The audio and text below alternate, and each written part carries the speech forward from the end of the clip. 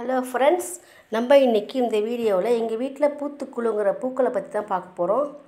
நீங்களே பார்த்துருப்பீங்க. இப்போ பார்க்க போகிறது நம்ம வந்து சாமந்தி பூ வந்து மஞ்சள் சாமந்தி. இந்த செடியை வந்து நான் வந்து ஒரு ரெண்டு வருஷமாகவே வச்சிட்ருக்கேன். ஒரு சின்ன ஒரு கட்டிங் தான் எடுத்து வச்சேன். போன வருஷம் வந்து நல்லா அது பூக்கள் நல்லா ஈல்டு எனக்கு கொடுத்தது. அதுக்கப்புறம் நான் என்ன பண்ணேன் அந்த செடியை வந்து பராமரித்து அப்படியே வச்சுட்டு இருந்தேன். இப்போ இந்த வருஷம் வந்து நான் நாலஞ்சு செடியாக வந்து நான் அதை பதியம் போட்டு எடுத்து ஒரு நாலஞ்சு தொட்டியில் வச்சேன்.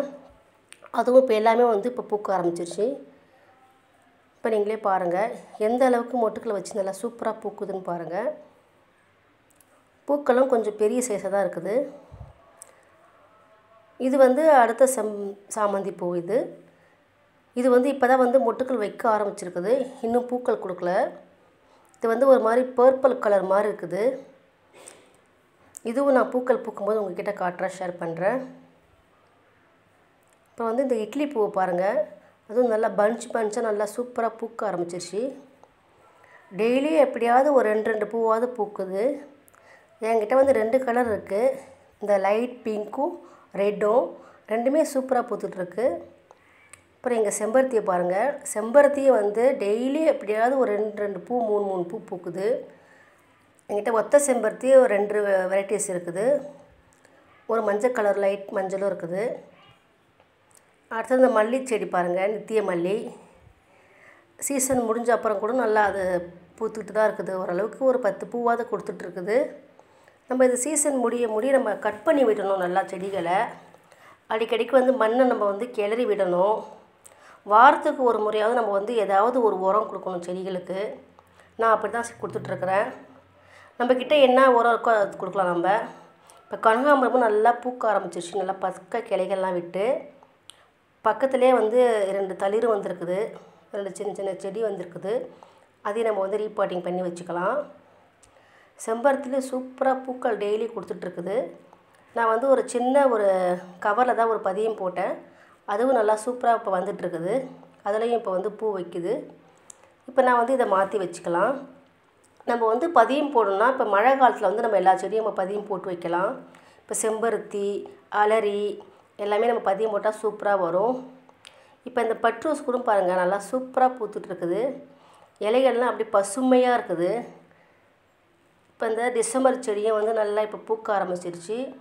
இப்போ டெய்லி ஒரு பத்து பத்து பூ கொடுக்க ஆரம்பிச்சிது. இப்போ நிறையாவே பூக்க ஆரம்பிச்சிருச்சு. பார்க்குறதுக்கே நல்லா சூப்பராக இருக்குது. மாடிக்கு வந்தாலே இந்த பூக்கள்லாம் பார்க்குறதுக்கே நமக்கு சூப்பராக அழகாக இருக்குது. கண்ணுக்கும் குளிர்ச்சியாக இருக்குது. இப்போ நம்ம இந்த பூக்கள்லாம் வைக்கிறதுனால நமக்கு என்ன பெனிஃபிட்னா இதனால் வந்து நமக்கு காய் செடி வைக்கும்போது நம்ம காய்களுக்கு இப்போ மகந்திர சேர்க்கை நடைபெறும் அதனால் வந்து காய்களை வந்து நல்லா காய்க்கிறதுக்கு வந்து வழிவகுக்கும். இதுலேயே ஒரு சாமந்தி செடி ஒன்று இருக்குது அதையும் நம்ம வந்து இப்போ ரீபாட்டிங் பண்ணி வச்சுக்கலாம்.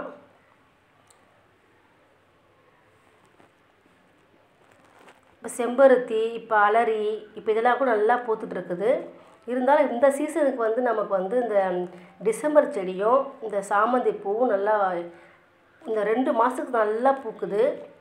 அதுக்கப்புறம் நம்ம அந்த செடியை வந்து நம்ம கட் பண்ணி அப்படியே வச்சுக்கணும். அதுக்கப்புறமா நமக்கு வந்து அது நிறையா செடியாக உருவாக்கிக்கலாம். ஆனால் இப்போ நீங்கள் பதியம் போட்டிங்கன்னா உங்களுக்கு செடிகள்லாம் நல்லா சூப்பராக வந்துட்டுருக்குது. நான் அப்படி தான் நிறையா செடிகள் வந்து பதியம் போட்டு வச்சுருக்கிறேன். இப்போ நான் இதுக்கெல்லாம் என்ன உரம் கொடுக்குறேன்னா வாரத்துக்கு ஒரு நாள் வந்து நான் பஞ்சகாவை வந்து லைட்டாக தெளித்து விடுவேன் மேலே. எங்கிட்ட மீனமயம் இருக்குது என்கிட்ட. அதையும் வந்து ஒரு வாட்டி பஞ்சகாவியை தெளித்தேன்னா இன்னொரு வாட்டி வந்து மீனமயம் தெளித்து விடுவேன். அப்புறம் தேமூர் கரைசல் புளிச்ச மோர். அடிக்கடிக்கு நான் செடிகளுக்கு கொடுக்குறது என்னன்னா புளிச்ச மோர் தான். புளிச்ச மோரில் பெருங்காயத்தூளை கரைச்சி அதை ரெண்டு நாளைக்கு ஊற வச்சு அப்படியே தெளித்து விட்டுருவேன். அப்போ தான் நமக்கு இந்த பூக்கள்லாம் வந்து சூப்பராக வரும்.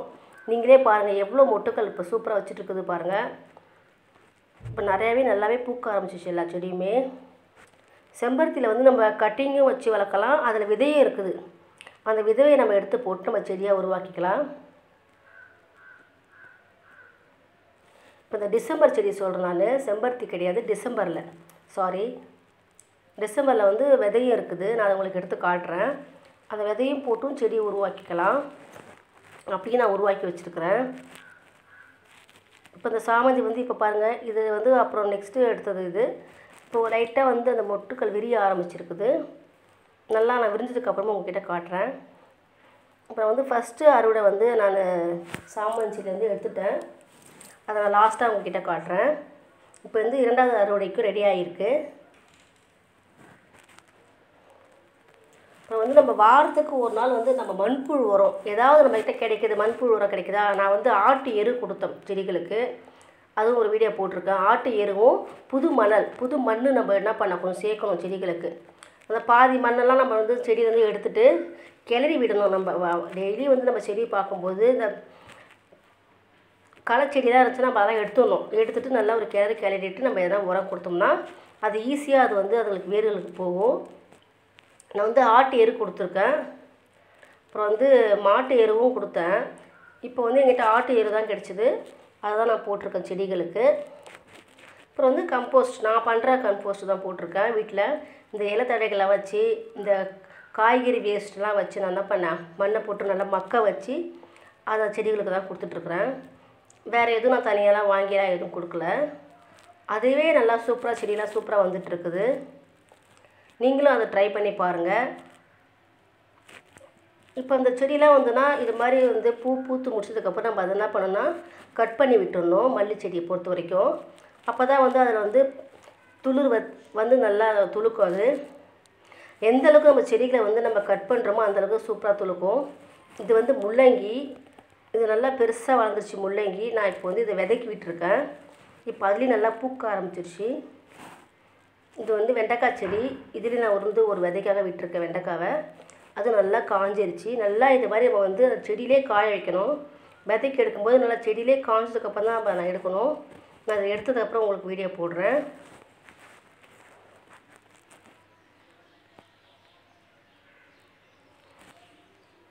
இந்த சாமந்தி வந்து இப்போ நம்ம இன்றைக்கி அறுவடை பண்ணிக்கலாம். அறுவடை பண்ணிவிட்டு உங்களுக்கு நான் எவ்வளோ இருக்குதுன்னு காட்டுறேன்.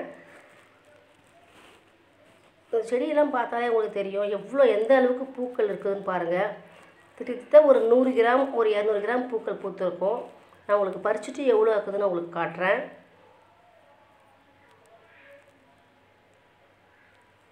இப்போ நீங்கள் இந்த மாதிரி ஒரு பூச்செடி வைக்கிறதுனால உங்களுக்கு என்னன்னா நம்ம செடி நம்ம தேவையான பூக்கள் நம்ம என்ன பண்ணலாம் நம்ம வீட்டில் இருந்தே நம்ம எடுத்துக்கலாம். நம்மளும் ஒரு செடி வளர்க்குறோன்ற ஒரு மன திருப்தி நமக்கு இருக்கும். நீங்களும் ஒரு செடியாக வச்சு பாருங்கள் செடி வீட்டில் இப்போ உங்கள்கிட்ட இடம் இல்லை எனக்கு நான் எப்படி வைக்கிறதுனா ஒரு ரெண்டு மூணு செடியாவது நீங்கள் ஒரு சின்ன சின்ன பாட்டில் வைக்கலாம் அழகாக வைக்கலாம். உங்களுக்கு தேவையானது ஒரு துளசியோ துளசிலாம் உங்களுக்கு வந்து ஒரு நல்லது ஒரு மருத்துவ குணம் வாய்ந்தது. ஒரு துளசி ஒரு கத்தாழை கட்டாழன்னு இருக்குது அந்த ஒரு செடி ஒன்று இந்த மாதிரி ஒரு சின்ன சின்ன செடியெலாம் நீங்கள் வச்சுக்கலாம் வீட்டில் அதுக்கெலாம் ஒன்றும் ரொம்பவும் ஒன்றும் உங்களுக்கு இடம் தேவைப்படணும் அவசியம் இல்லை. கொஞ்சம் இடமா இருந்தாலும் ஒரு நாலு செடியாவது நீங்கள் வச்சு வீடு எடுக்கலாம். இப்போ நீங்கள் வந்து எங்கள் வீட்டில் இருக்கிற பூக்கள்லாம் பார்த்துருப்பீங்க. எல்லாம் உங்களுக்கு பிடிச்சிருக்கான்னு பாருங்கள் எப்படி இருக்குதுன்னு பாருங்கள் நீங்களும் இது மாதிரி உங்கள் வீட்லேயும் பூச்செடி வச்சு வளர்த்து பாருங்கள்